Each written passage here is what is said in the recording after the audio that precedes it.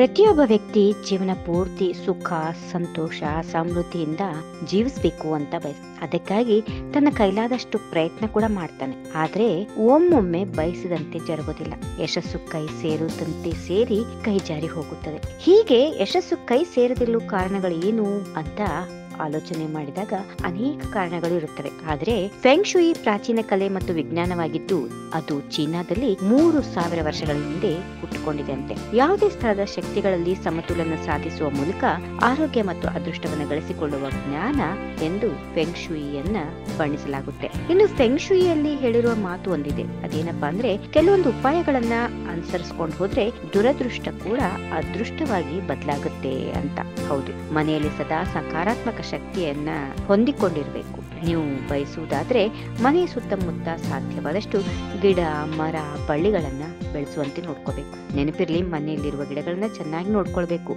ಅಂದ್ರೆ ಬಾಡಬಾರ್ದು, ಒಣಗಬಾರ್ದು. ಒಣಗಿದ ಗಿಡಗಳು ಮೃತ್ಯುವನ್ನ ಪ್ರತಿನಿಧಿಸುತ್ತವೆ. ಸಕಾರಾತ್ಮಕ ಶಕ್ತಿಯನ್ನ ಆಕರ್ಷಿಸುವಂತಹ ಗಿಡಗಳನ್ನ ಬೆಳೆಸ್ಕೊಳ್ಬೇಕು. ನಕಾರಾತ್ಮಕ ಶಕ್ತಿಗಳನ್ನ ಈ ಒಣಗಿದ ಗಿಡಗಳು ಆಕರ್ಷಿಸುತ್ತವೆ. ಇನ್ನು ಫೆಂಗ್ಶುಯಿ ಪ್ರಕಾರ ಮನೆಯಲ್ಲಿ ಬಹುತೇಕ ಜಾಗ ಖಾಲಿಯಾಗಿರಬೇಕು. ಕಸ, ಅನವಶ್ಯಕ ವಸ್ತುಗಳು ಮನೆಯಲ್ಲಿ ಇಟ್ಕೊಳ್ಬಾರ್ದು. ಮನೆ ಶುದ್ಧವಾಗಿರಬೇಕು, ಸ್ವಚ್ಛವಾಗಿರಬೇಕು, ಆಗ ಸಕಾರಾತ್ಮಕ ಶಕ್ತಿಗಳು ಆ ಮನೆಯನ್ನ ಆಕರ್ಷಿಸಲು ಸಾಧ್ಯ ಆಗುತ್ತೆ. ಇನ್ನು ಮುಖ್ಯವಾಗಿ ಮನೆಯ ಮುಖ್ಯ ದ್ವಾರ ಬಹಳ ಮಹತ್ವದ, ಅಲ್ವೇ ಸ್ನೇಹಿತರೆ? ಹಾಗಾಗಿ ಮನೆಯ ಮುಖ್ಯ ದ್ವಾರದ ಮುಂದೆ ಕಸ, ಹಳೆ ಪಾತ್ರೆ, ಹಳೆ ವಸ್ತುಗಳು ಇಡಬಾರ್ದು ಇನ್ನು ಚಪ್ಪಲಿ ಕೂಡ ಬಿಡಬಾರ್ದು. ಮನೆಯಲ್ಲಿ ಮುರಿದ ಹಾಳಾದ ವಸ್ತುಗಳನ್ನು ಇಟ್ಕೊಳ್ಬಾರ್ದು. ಆದಷ್ಟು ಬೇಗ ಅವುಗಳನ್ನ ರಿಪೇರಿ ಮಾಡಿಸ್ಕೋಬೇಕು.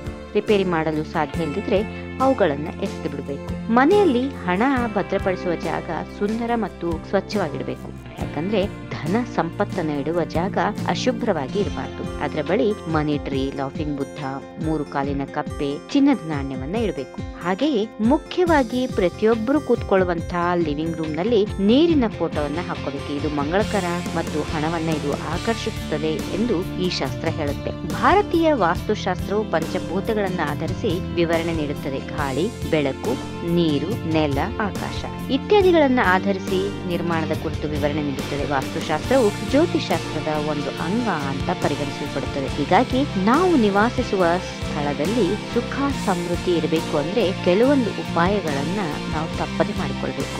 ಅದು ನಮಗೆ ಅನುಕೂಲಕರವಾಗಿರುವಂತಿರಬೇಕು, ನಮ್ಮ ಮನಸ್ಸಿಗೆ ಮುದ ಕೂಡ ನೀಡಬೇಕು. ಅಲ್ವೇ ಸ್ನೇಹಿತರೆ? If you like this video ಬೇಗ ಲೈಕ್ ಮಾಡಿ ಕಾಮೆಂಟ್ ಮಾಡಿ ಶೇರ್ ಮಾಡಿ ಹಾಗೂ ಯೋಯೋ ಟಿವಿ ಕನ್ನಡವನ್ನು ಸಬ್ಸ್ಕ್ರೈಬ್ ಮಾಡಿ.